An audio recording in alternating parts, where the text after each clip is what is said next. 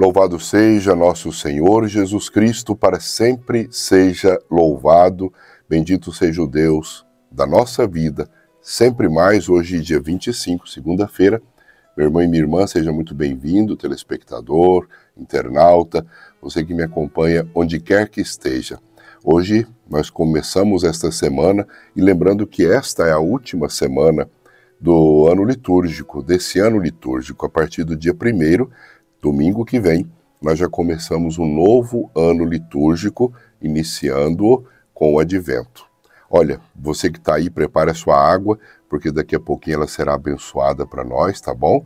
E você que está no YouTube, no Facebook, lembre-se de curtir, inscreva-se no meu canal. Se ainda não se inscreveu, já estamos quase chegando aos 300 mil inscritos no YouTube.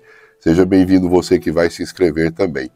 Existem muitos momentos orantes em nosso canal. Eu gostaria muito que você participasse de todos eles. Olha, você que está me acompanhando na TV, dê um arroba Padre Robson Oliveira, encontre meus canais, inscreva-se lá também, tá? E eu quero pedir a você que me acompanha, é sim, vamos juntos evangelizar. Vamos juntos levar Cristo ainda mais aos corações, e para isso eu preciso que você se cadastre e venha se unir a estes que estão trabalhando para essa finalidade, levar Cristo ainda mais aos corações pelo Santo Evangelho. Cadastre-se na obra de Cristo e é muito fácil. Entre em nosso site obradecristo.com.br. Ali você acende sua vela, faz o seu cadastro, deixa também seus pedidos de oração. Você também pode nos ligar em horário comercial, sim, no 0 operadora 11 3509 8500 ou então, se utilizar desse QR Code apontando a sua câmera para ele, clicando no link e preenchendo os dados do site onde está escrito Novo Cadastro. Começamos assim o Evangelho juntos, levando Cristo ainda mais aos corações e agradeço imensamente a você que já está comigo nessa obra de amor. Meu querido, minha querida, nessa segunda-feira, nesse dia 25 de novembro, já indo para o final do ano também, o ano civil, e indo agora, nessa semana, para o final do nosso ano litúrgico, tendo exaltado ontem mesmo Cristo como Rei do Universo. Vamos rezar o Salmo 97, que proclama Deus como Senhor do mundo.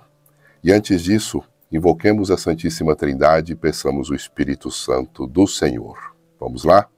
Em nome do Pai, do Filho e do Espírito Santo. Amém.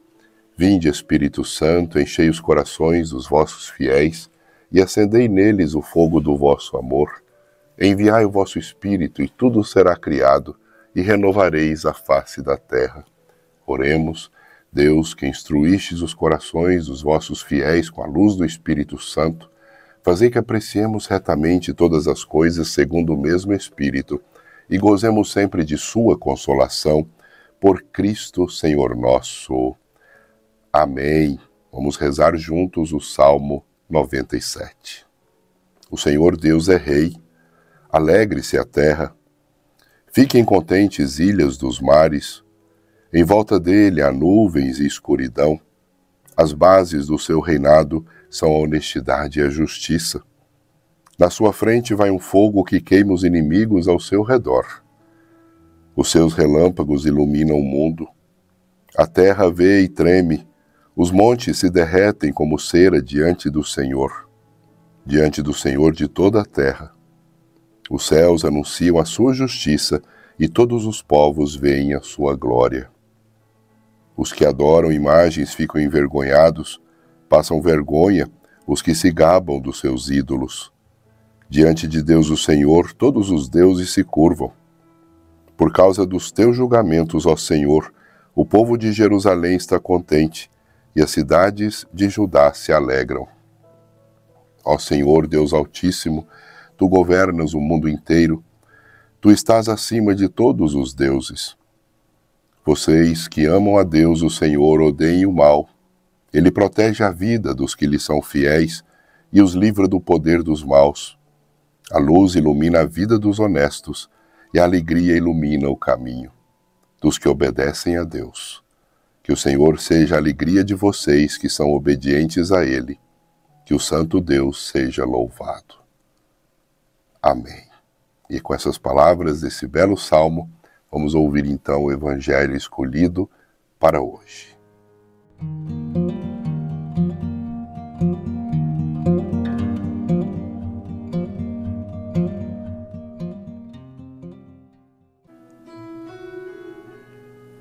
Senhor esteja convosco, Ele está no meio de nós. Proclamação do Evangelho de Jesus Cristo, narrado por São Mateus. Glória a vós, Senhor. Mateus capítulo 19, versículos de 13 a 15. Depois disso, algumas pessoas levaram suas crianças para Jesus, pôr as mãos sobre elas e orar. Mas os discípulos repreenderam as pessoas que fizeram isso. Aí ele disse: Deixai vir, as, vir, vir a mim as criancinhas e não as proíbam, porque delas é o reino dos céus. Então Jesus pôs as mãos sobre elas e foi embora. Palavra da salvação, glória a vós, Senhor. Que essas palavras do Santo Evangelho renovem o nosso coração. Meu irmão e minha irmã, a criança no, no Evangelho do Senhor é o protótipo daquela pessoa que pertence ao reino dos céus. Isso fica bem claro nesses três versículos do Evangelho de hoje. A criança, ela representa a inocência, a naturalidade, a confiança, a entrega, o coração transparente. A criança representa a alegria. Sim, o suplicar, o pedir incessantemente, insistentemente, a criança faz isso quando quer algo. O querer estar sempre perto, o carinho, a inocência, aquela falta de malícia para criar maledicências e maldades contra os outros são virtudes. Virtudes que a criança possui, que nos garantem viver no reino dos céus e para o reino dos céus e que nós devemos aprender para a nossa vida, porque perdemos essas virtudes ao longo dos anos. Por isso, nós podemos dizer que nossa carteirinha, com direito ao céu, para a entrada no céu, para podermos dizer que somos filhos do Pai Eterno, está bem impresso nessa carteirinha que nós somos como uma criança.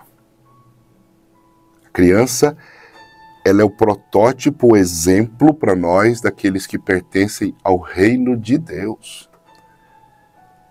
Aquela dependência que a criança demonstra, aquela confiança que ela tem, é tudo isso que Jesus vive pedindo para nós, o seu Evangelho, para que nós tenhamos essa dependência de Deus, essa confiança no Senhor. O que faz a diferença entre a criança e a pessoa adulta, o homem velho, impedido de viver o reino dos céus aqui na terra é justamente esse despojamento que a criança tem das suas próprias ideias, das suas convicções, essa vontade de aprender, esse despojamento dos próprios conceitos, da sua própria racionalidade, porque a criança é coração, é amor, quer ser feliz e pronto. O homem velho, meu irmão e minha irmã, ele tem dificuldade sim para experimentar as coisas santas de Deus. Porque muitas vezes é arrogante, autossuficiente, se acha muito sábio, acha que é melhor que os outros. Sim, muitos são as, muitas são as pessoas de mais idade que se acham melhores que as outras, inclusive de pouca idade. O homem novo, que aqui seria a representação da criança, no entanto, ele tem a sua inteligência vinculada numa sabedoria de querer ser de Deus, de querer estar junto do Pai, como uma criança, de deixar-se iluminar por aquilo que o Pai oferece, que aprende e quer aprender que aceita ser levado para onde o Pai leva. O Senhor, meu irmão e minha irmã, Ele quer que nós tenhamos um coração simples, um coração incapaz de julgar, um coração que não aponta o dedo e que não faz mal a ninguém, um coração que confia e que quer ser feliz. Isso é ser criança.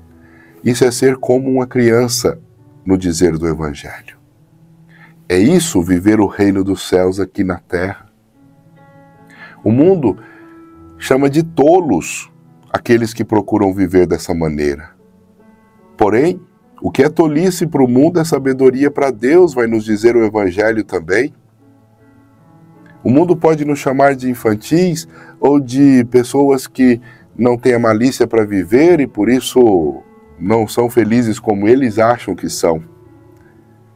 Mas o Senhor vai dizer que aquilo que o mundo chama de felicidade não é felicidade para Deus. Nós somos chamados a viver o reino dos céus desde já em nosso coração. E ter um coração como o de uma criança colocado nas mãos do Pai, para que Ele cuide de nós. Confiando plenamente que Deus vai cuidar de nós a cada momento, que Deus vai cuidar de você, meu irmão e minha irmã, em todos os momentos da sua vida. E quando nós rezamos e pedimos o Espírito Santo, nós vamos aprendendo esse caminho. O caminho da inocência, da credulidade, do entregar-se a Deus que cuida de nós, do confiar-se e colocar-se no colo do Pai, nos braços do Pai, porque Ele cuida e nos ama infinitamente e sempre vai nos levar para os melhores caminhos que realmente trazem para a nossa vida felicidade que tanto queremos, a alegria que tanto buscamos, o sentido daquilo que realmente nós devemos viver, o amor e a comunhão plena com Ele, nosso Pai, e com todas as pessoas.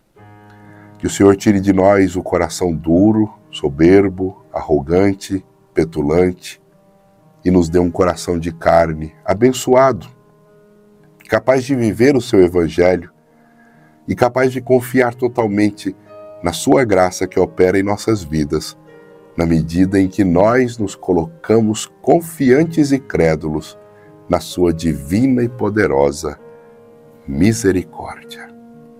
Que o Senhor ilumine nossos corações e nos converta para merecermos a dignidade das promessas de Cristo. Amém.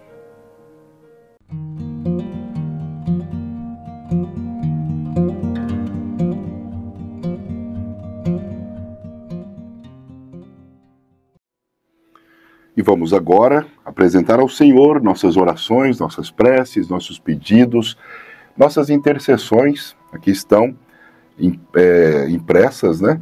É, tudo aquilo que você me enviou pelas redes sociais, os pedidos que você fez, aqueles que você também me mandou por carta, você que entrou no nosso site, você que nos ligou pedindo orações.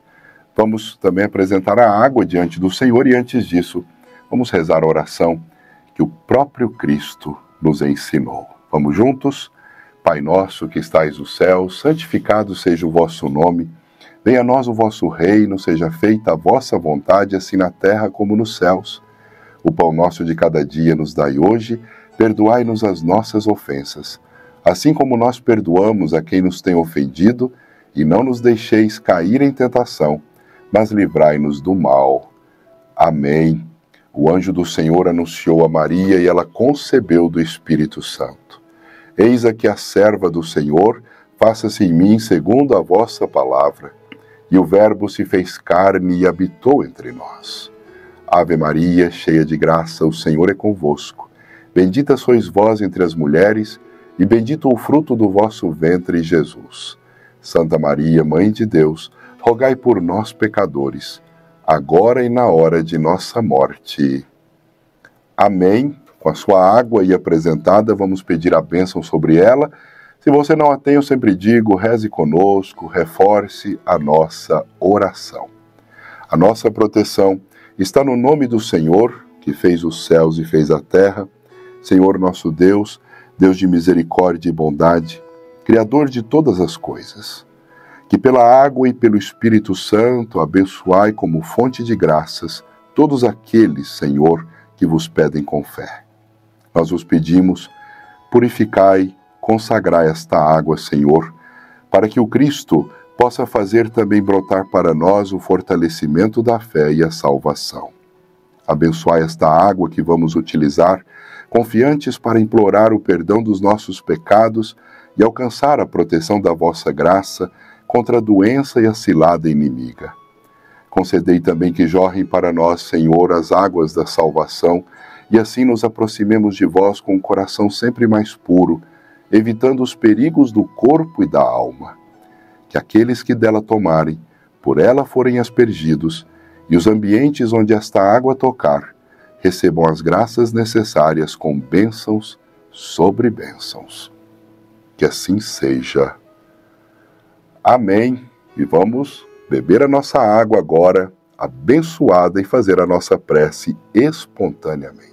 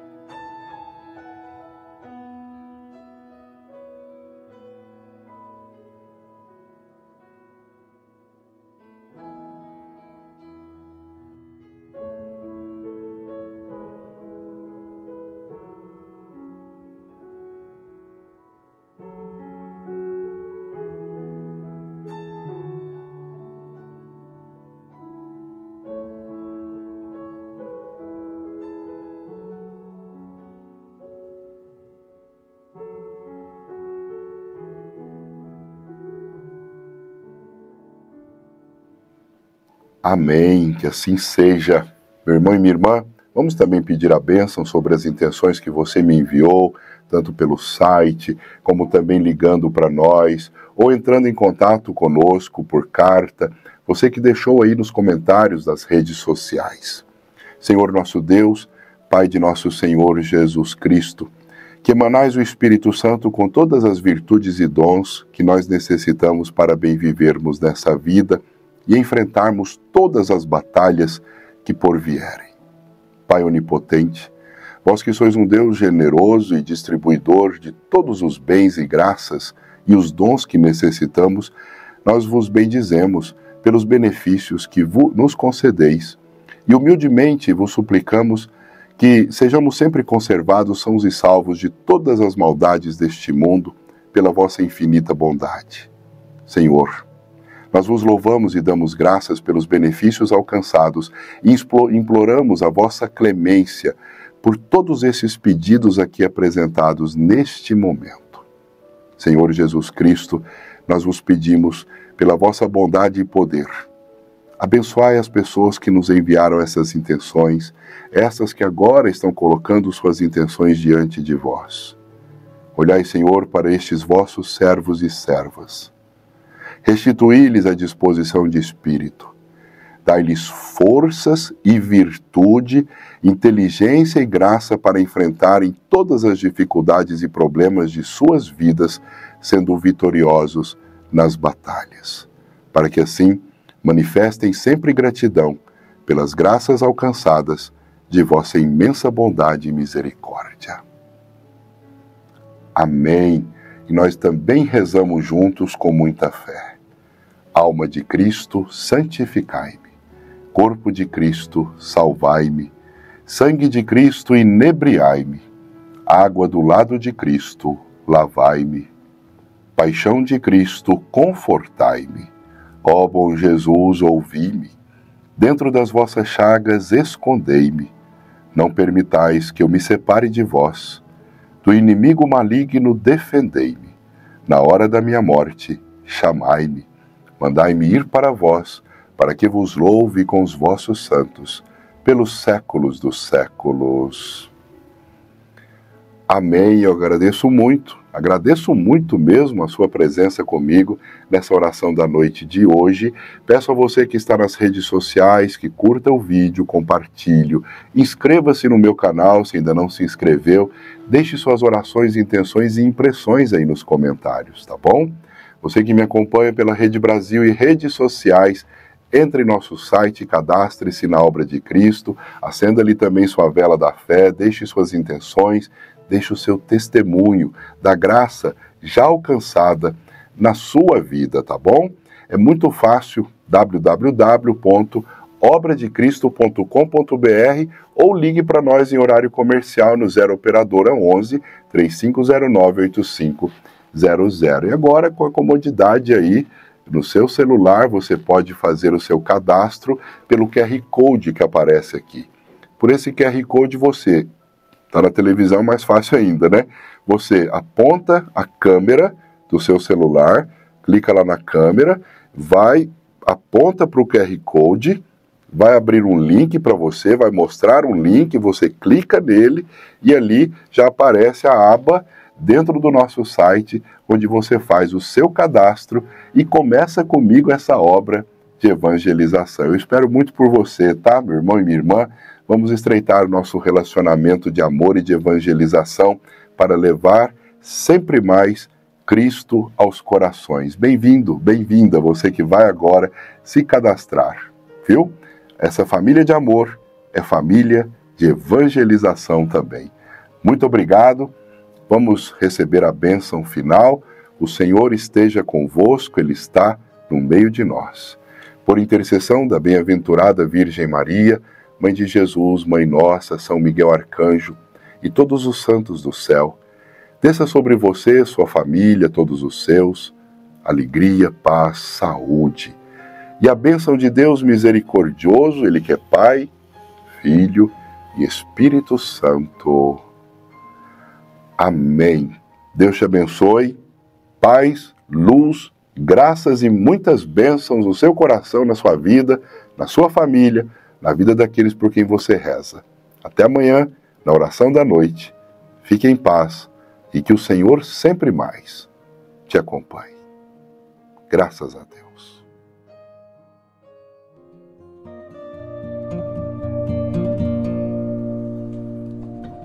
Música